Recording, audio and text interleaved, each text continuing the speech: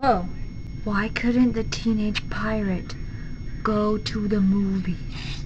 Um, why? Because it was rated R. oh, my mustache.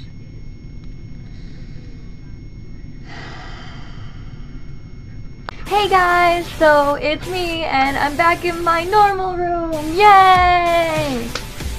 Um, I don't know if uh, some of you guys knew, but I was in Europe for the past two months, you know, just spending some nice, genuine time with family, getting yelled at by a whole bunch of Russians, instead of Purple Rain experiencing Vodka Rain, the usual. So I'm super excited because in one little piggy, two, three, four, because in eight, eight days, I'm going to college. Woohoo! So I see a bunch of people doing these like daily vlog things about how like move in and get ready and tips and everything and I wanted to kind of do that because I'm a loser and I'm super excited and I need more filler time before I totally explode. Aww. Okay, so I'm going to be a Tar Heel at the University of North Carolina, Chapel Hill. And I just wanted to say that what I've been doing lately is I've been hanging out with my mom and we've been going shopping.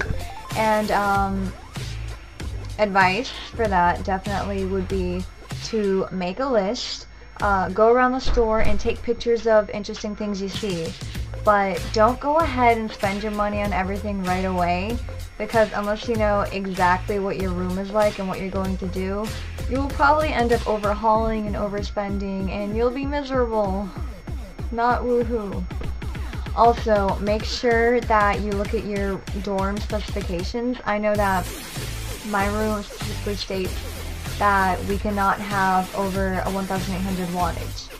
And so it's important for you to know what appliances you can buy and um, what you and your roommate are going to buy.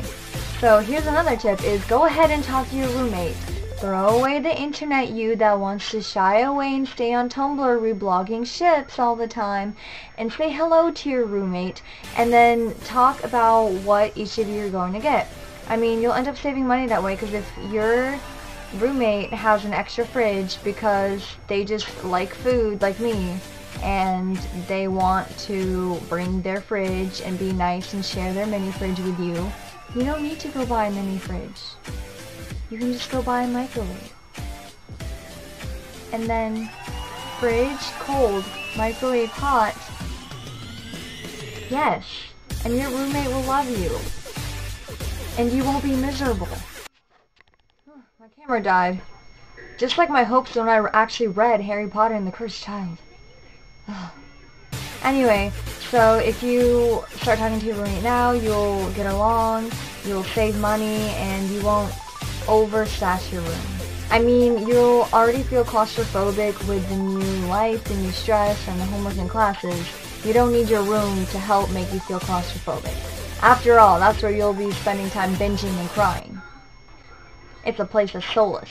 So I'm gonna start making, I don't know, daily or so vlogs about me packing, you know, having fun with bubble wrap and and whatnot, and actually moving in the dorm. So hopefully this won't be a total bore like my life, but you know. Alright guys, see ya!